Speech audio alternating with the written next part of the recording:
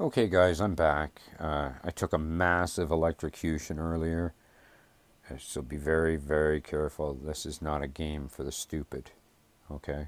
It seriously is not. Like, for your own safety, be very wise in every movement you do with this machine.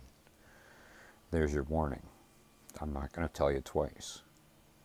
Okay, so um, as an, in an effort to remove the electrocution factor from 90% of the device, I remove this capacitor. Okay, and that capacitor is required. And uh, the device does function uh, with the earth ground. See, I've, I've reconfigured this. I took a, an AC feed. I'm not poking around here because I got bit so bad. Like, so bad. So, uh, All right. Well, it's been off for a while. I don't see any caps. All right. We'll get brave again. Okay. So, um, I, uh, oh, this cap's still here. Shit. That doesn't make me too, uh, confident. Especially playing with them.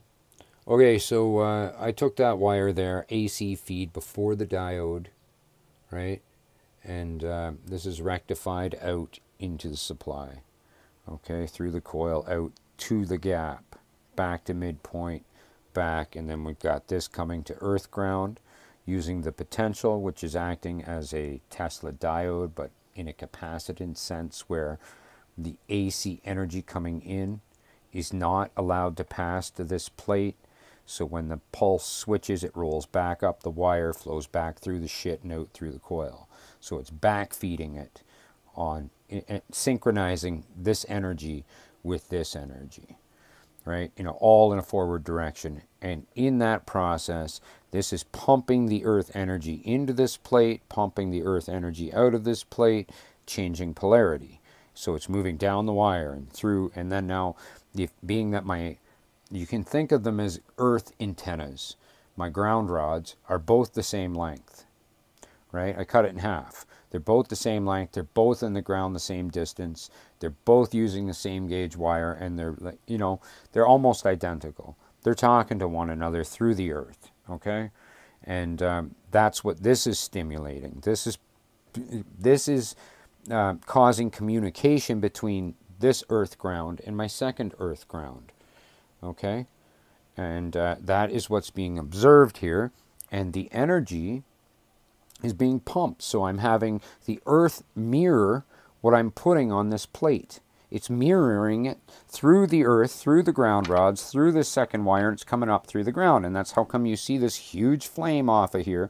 That's half of my supplied energy and the other half of the earth energy, right? That's the magnification factor. And when I put that back in, oh, I'm hitting my head here, damn it. I better slow down here. The world's not going to like it.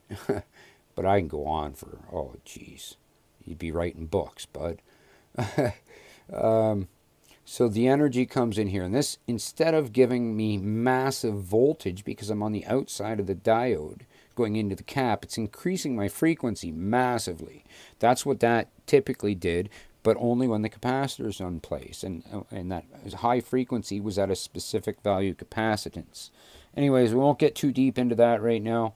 Uh, what I want to talk about is this. In an effort to remove the cap, it causes heating on the spark gap. You don't want to do that.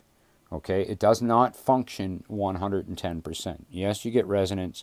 No, you don't get great big booming flames. And uh, okay, so uh, I'm not even going to fire it up because I don't. I have no interest. Uh, this cap has to go here. So now this cap, the value of this cap is not absolutely so important. And that's what people don't quite get. This, the lower the value of the cap, the higher the frequency the resonance will be. So if my diodes are 20 megahertz, but uh, see the spark gap, I don't know because it's not, it's, it's only operating. This spark gap, there's actually got to be two to, for this to be 100%. This is the voltage spark gap. The other one will be the amperage spark gap. And I don't introduce the amperage component unless there's a capacitor across here. One plate of the capacitor is amps, the other plate of the capacitor is volts, right? There's no negative. It's a series capacitor. It comes out, it's going through it. One is amps and one is volts. And if I the, the volts are going through the system here, right? Coming through, sparking the gap. So, and when I take that second earth ground and I short it to that cap and spark it, it stimulates amps like a motherfucker. Amps, big time. And they flow forward with the other flowing energy. Boom, boom, boom, boom, boom. Charge those caps stupid fast in resonance with disruptive discharge. It's not disruptive discharge, it's interrupted resonance, is what that spark gap is doing here. Because we are not disruptively discharging a capacitor absolutely nowhere in the system as of this point. Everything is working in resonance and a spark gap. So the spark gap is, if it's not rectified, so this is rectified, so it's working in pulse DC resonance that's being interrupted. This is like an interrupter. And the interruption that's happening in here is a low wattage, low power plasma when this thing is operating. So that's what's taking place here right now. And that capacitor value uh, can, can be whatever you want. So the larger the value, the, the lower the frequency.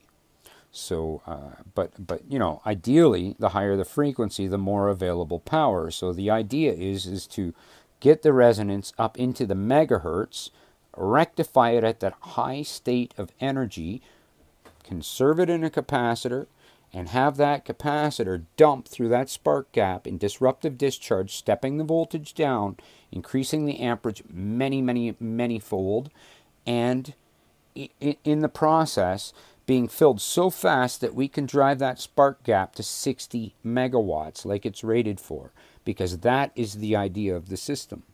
And the only way we're going to achieve that is exactly how I have just explained. So if you're going to play with it, be damn careful. This is not a game for the stupid. Don't tell me to do stupid things because they'll smear your face in it. Have a great day.